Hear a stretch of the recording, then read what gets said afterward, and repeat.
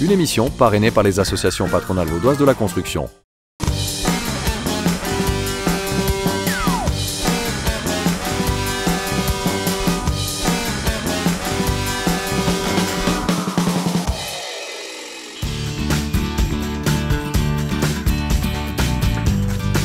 Dans les épisodes précédents des Experts Maison, nous avons découvert ensemble l'ampleur des travaux de rénovation sur ce chantier. Mais les différents corps de métier sont dans les temps à l'image du monteur sanitaire. Il a notamment pour mission d'établir un diagnostic des installations et de les remettre au goût du jour dans la salle de bain.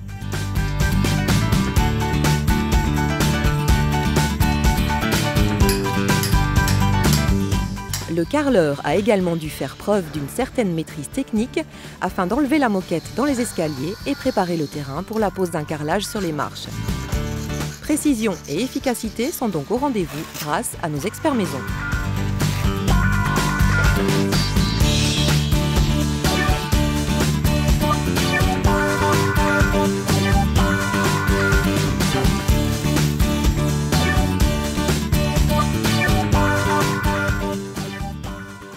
Bonjour à tous, c'est toujours un plaisir de vous retrouver sur la télé pour les experts maison, l'émission qui vous fait comprendre qu'il est très important de faire appel à des professionnels lorsque vous avez décidé d'entreprendre des travaux de rénovation. Lors de ce genre de travaux, il y a pour quasiment toutes les opérations des directives légales et des normes de sécurité notamment. Les professionnels ont toutes les compétences et les connaissances afin que les travaux réalisés soient de qualité et que les lois soient respectées.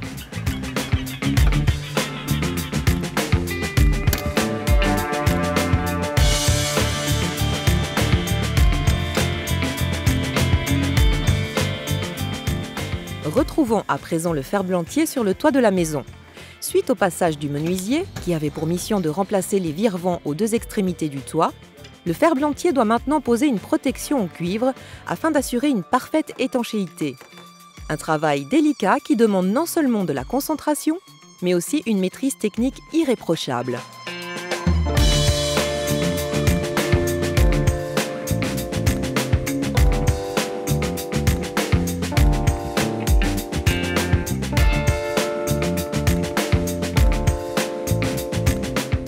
Restons à l'extérieur de la maison, mais cette fois-ci en compagnie de nos experts en étanchéité pour la terrasse. Là aussi, pas question de laisser la place à l'improvisation. Il faut faire preuve de minutie et de rigueur dans ce domaine. Alors, pour commencer, on a fait la préparation de ce port. Alors, on a poncé tout- toute, toute la vieux peinture, et puis on a nettoyé, on a aspiré, et puis on a posé une bande, une bande d'étanchéité tout autour de la terrasse. Avec cette bande de Sika, c'est une bande qui peut travailler 5 mm, 1 cm, qui ça bouge et puis ça se fissure plus. Alors c'est une bande fixée, appliquée avec une cicadure, deux composants, époxy. C'est posé avec cette bande et puis la bande c'est en caoutchouc. En caoutchouc que ça peut bouger et travailler. Et puis après ça, on a mis la résine, aussi une résine époxy. C'est une résine rigide, rigide, puis que ça fait un effet que ça, ça dure des années et des années.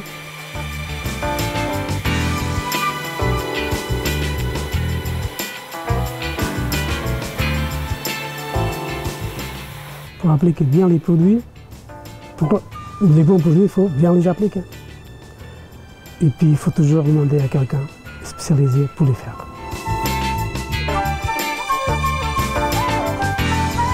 Prenons à présent le chemin de l'atelier de construction métallique, une étape cruciale pour la préparation des pièces de la barrière pour la terrasse et le balcon.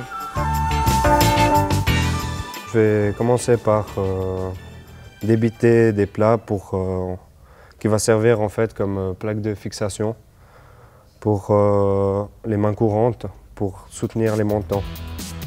Donc, euh,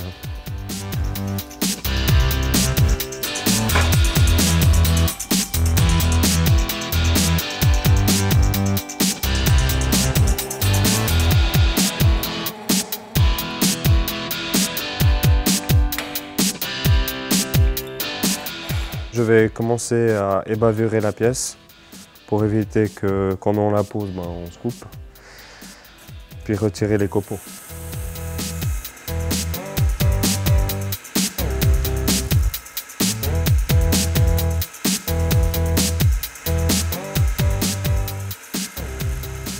Je vais prendre euh, les mesures qui sont sur le plan pour les mettre ici sur euh, la, la petite plaquette.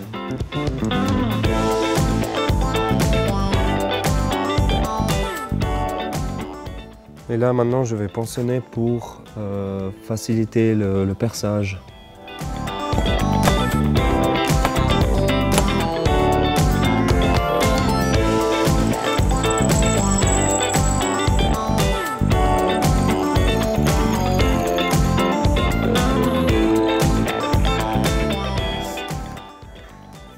Donc euh, là, je vais polir la pièce pour que bah, elle soit esthétiquement bien, propre. Qu'il n'y ait pas de rayures. Alors euh, ici, euh, j'ai débité à la scie circulaire euh, un plat qui fait euh, 30 par euh, 120. Et en fait, ça va servir à soutenir la main courante.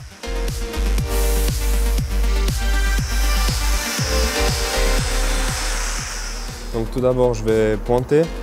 Parce, euh, il faut régler avant de souder. À relever que pour ces travaux de préparation en atelier, il est indispensable de faire preuve d'une grande précision. Il faut également savoir respecter les plans de fabrication des pièces, raison pour laquelle il est nécessaire de faire appel à des professionnels.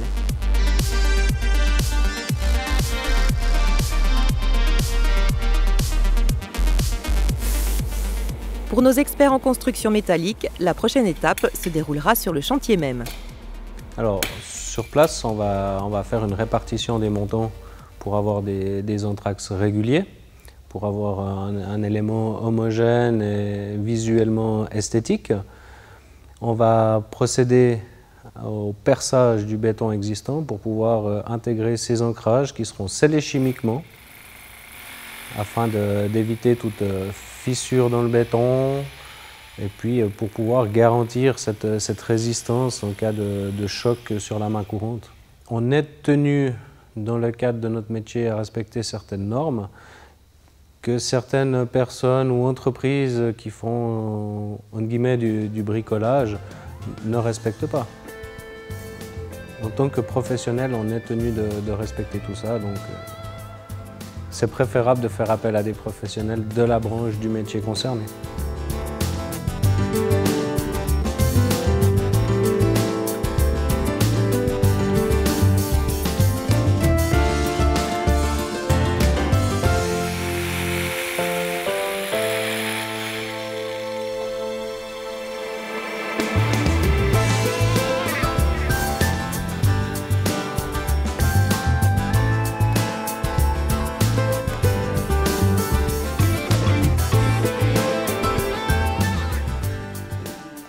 L'avis de l'expert est consacré aujourd'hui aux aspects légaux, l'obligation d'annonce et la mise à l'enquête.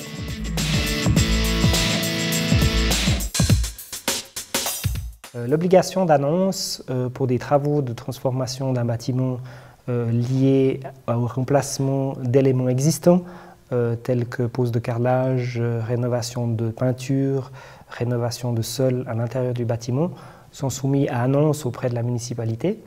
Cette annonce est destinée finalement à renseigner l'autorité euh, communale sur les travaux qui vont être réalisés dans le bâtiment concerné. Cette euh, annonce euh, est une simple finalement liste d'éléments euh, de transformation liés au bâtiment. Euh, cette annonce doit être faite à la municipalité pour permettre finalement à l'autorité de connaître euh, et la nature des travaux et de pouvoir donner, le cas échéant, une information auprès du voisinage ou auprès de personnes euh, questionnant la municipalité sur les travaux euh, en cours.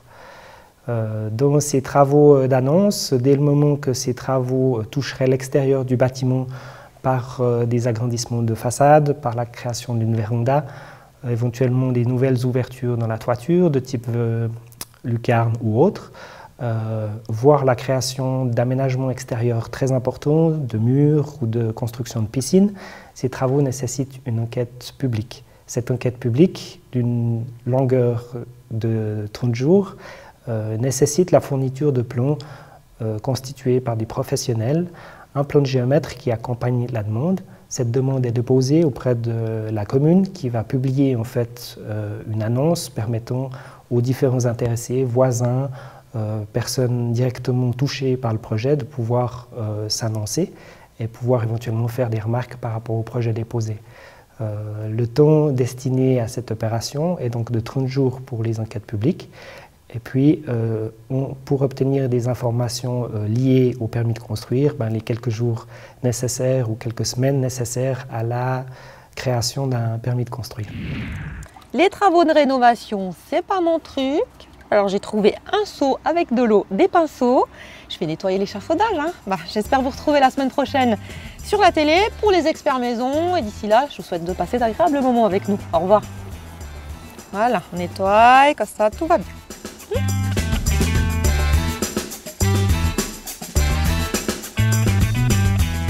La semaine prochaine, place aux travaux de peinture sur notre chantier. Nos experts vont devoir repeindre non seulement l'intérieur de la maison, mais également toute la façade extérieure. Nous retrouverons également le menuisier pour la fin des travaux au deuxième étage, avec notamment la pose du nouveau lambris au plafond.